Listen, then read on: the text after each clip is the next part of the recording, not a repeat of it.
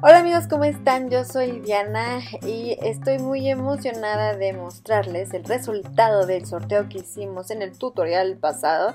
Te voy a dejar el enlace para que lo veas y entiendas de qué se va a tratar la dinámica, ya que sorteamos tanto los colores, el material, las texturas y la técnica que vamos a usar en este tutorial. También te recuerdo que la pintura que yo utilicé como las texturas que vas a encontrar en este tutorial de pareja de africanos las vas a poder encontrar en mi tienda en línea que es manoart.mx así que recuerda que la lista de materiales te la voy a, dejar también aquí abajito. Todos los materiales eh, ya sabes aquí te los voy a dejar. En el primer comentario y también en la cajita de descripción que está aquí abajito. Y ahora sí, vamos a ver el paso a paso.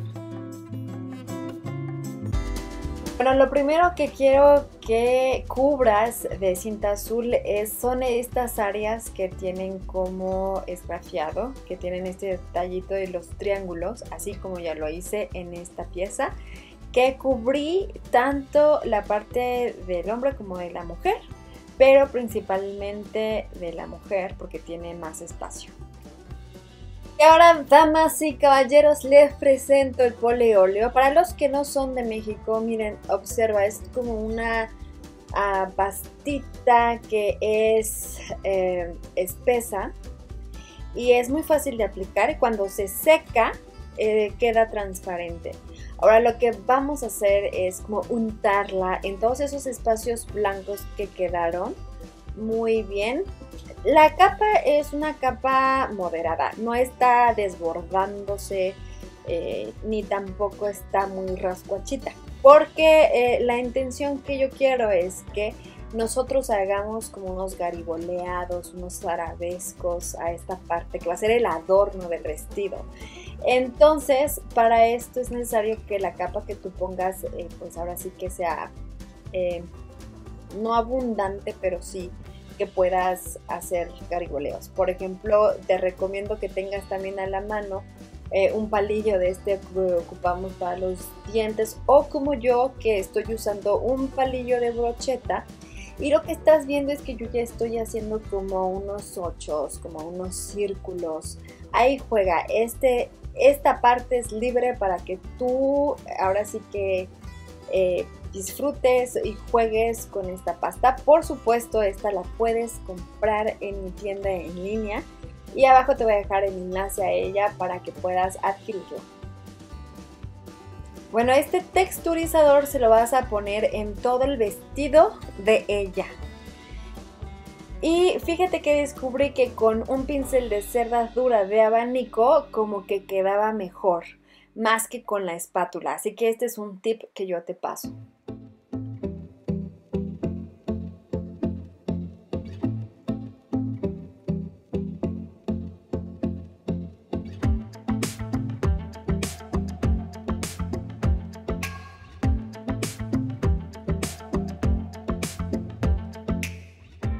Y ahora para él, acuérdate que el texturizador nieve fue el otro ganador del sorteo. Eh, y este texturizador se lo voy a poner en toda la falda del hombre. Y pues lo padre de este texturizador nieve es como que tiene como una gravilla. Entonces esa fue mi intención, que quedara como que esa textura que, ya con el uso del pincel, fíjate que la estoy aplicando con un pincel de abanico, entonces la puedes aplicar también con un pincel plano de cerradura. Esto lo estoy haciendo para dar como que esa textura de tela y aparte con la, gravilla que queda, queda fabuloso. También se la apliqué en la, en la base porque no va a simular nieve, pero va a simular pasto.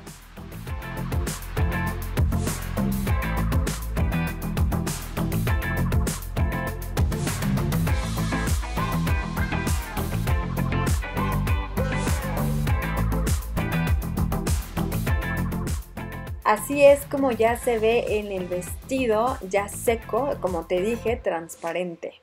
Y ahora sí, prepárense para lo mero bueno que va a ser ponerle color a todo esto.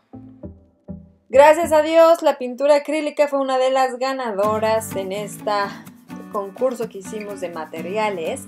Y la piel la vamos a hacer con el terracota, que fue uno de los colores ganadores, con una pizquita de negro, así, pero una nadita.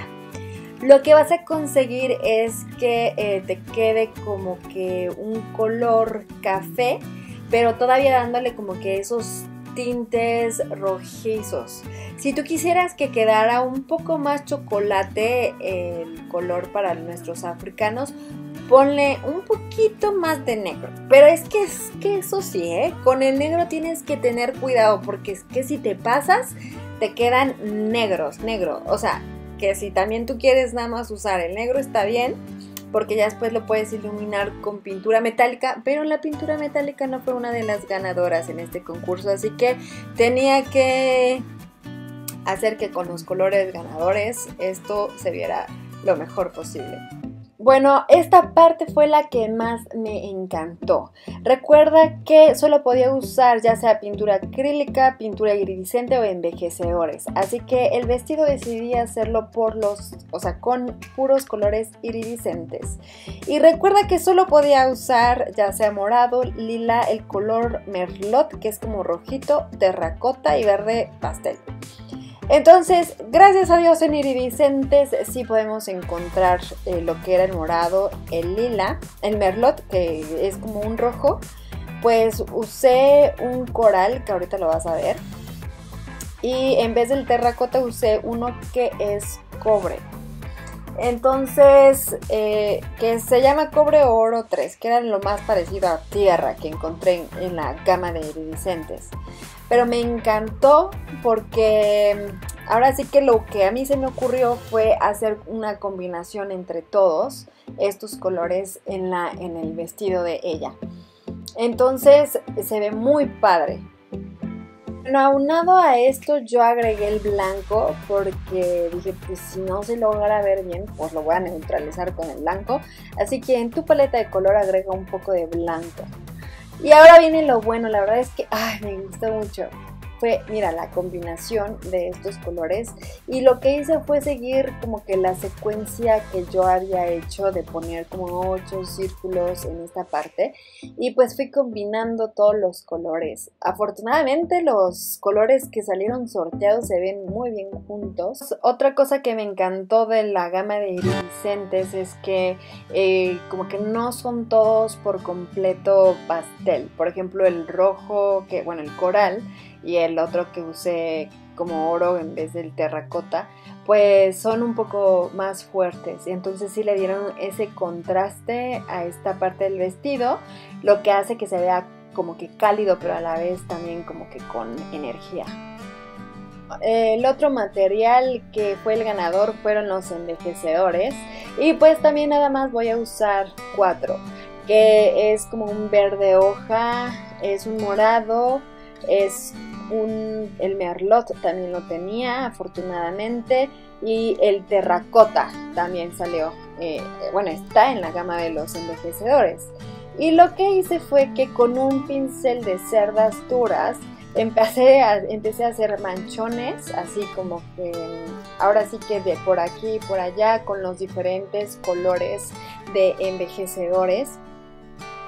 Eh, tratando de que pues ahora sí que primero como que dije que, se vea así como ese tipo de tela que son como cuadraditos, esa fue como que la primera idea inicial. Pero una vez que ya no había espacio para seguir poniendo este como que más color, o sea, dije, ay, como que quiero que sean uno solo, que se unifiquen. Así que agarré un pincel de cerdas duras limpias y los empecé así a entremezclar y me encantó el resultado porque ahora sí se veía como un, como tela, así como una sola parte de tela, me gustó, me gustó mucho cómo quedó. No sé, tú dime qué opinas, ¿te está gustando este proceso? Eh, ¿Te está gustando esta dinámica? Me va a encantar leerte. Si te está gustando y estás disfrutando este proceso tanto como yo, regálame un me gusta y suscríbete a mi canal si aún no lo has hecho. Bueno, ya aprovechando con el mismo verde hoja que me había salido, eh, lo que hice fue pintar, bueno, poner el envejecedor al pasto y pues, pues ahora sí que darle, eh, ya después, una vez que se seque el envejecedor, como que cepillarlo un poquito en blanco. Eso fue lo que a mí se me ocurrió para que no se viera tan, tan, tan verde. Que honestamente aquí sí necesité un color ocre, me hizo falta para darle más sabor al área del pasto. Pero bueno, pues hice lo que se pudo. Bueno, recuerda que otro material que podía usar era pintura acrílica, así que usé la combinación otra vez de todos los colores que era morado, lila, merlot, terracota y verde pastel. Que en la gama de acrílicos el verde pastel se parece a un turquesa, pero bueno, salió ganador, así que yo lo utilicé. Y como estás viendo, lo que hice fue diluir los colores eh, con agua, lo más que se pudiera y los empecé a colocar en forma de manchones en todo lo que era pues, la parte de arriba del hombre, de forma que también eh, con como es la, la pintura esta aguadita, pues escurriera y se fueran entremezclando. Pero como estás viendo, es muy intenso el color. Entonces quiero, me gustó, o sea, que esa combinación de manchones, pero lo que no me agradó era que era demasiado intenso. Entonces lo que se me ocurrió fue eh, hacerle un pincel seco con blanco de, forma que quedaran esos colores pero atenuados. Así como que la, ya saben, la base para lo que es la técnica de azúcar. Así que, pues por cierto, si quieres saber más sobre esa técnica, aquí te voy a dejar un video para que tú vayas a ver ese efecto de la técnica de azúcar, que fue lo que yo apliqué aquí en esta parte de, arriba del hombre. Y la verdad es que me gustó muchísimo. Y bueno, acuérdate que otro ingrediente ganador fue usar la servilleta como textura y lo puse. Así que tengo esta servilleta con diferentes tipos de pieles. Así que primero se me había ocurrido como que eh, usarlos todos. Pero honestamente el que mejor se ve es el de la piel de chita, este moteadito. Así que sí vas a ver que yo le coloqué de las otras pieles, eh, pero al final realmente se la cambié a pura piel de chita porque eh, fue la que más me gustó cómo se veía en el conjunto de pintura y de todo, todo, todo mi composición fue el que mejor le quedó. Y bueno, la forma en que lo pegué es con un poco de pegamento blanco, lo diluí con un poco de agua y ya lo pegué a esta área. Que si quieres ver más técnicas del decoupage, también te voy a dejar aquí una lista de reproducción para que veas qué otras cosas puedes hacer con servilletas. Eso si eres nuevo en este mundo de las manualidades. Y bueno, para que la ropa de él también combinara, también le puse de esta misma servilleta, se la puse en los triangulitos que por sí la, la pieza ya trae, para que hiciera juego y los dos se vieran como que con esa combinación entre los dos Y solo me resta decirte que el maquillaje lo vas a poder ver en un video donde ya hice lo que es especial maquillaje y también joyería, te los voy a dejar aquí. Y una vez que ya terminas esto, simplemente sellas tu pieza con laca brillante y ya está. Otro proyecto terminado. Cuéntame qué te parecía esta dinámica y si te gustaría que la hiciéramos en otros tutoriales. No olvides de regalarme un me gusta y compartir este tutorial con otra persona que sepas que le va a agradar. Así que nos vemos en el próximo video.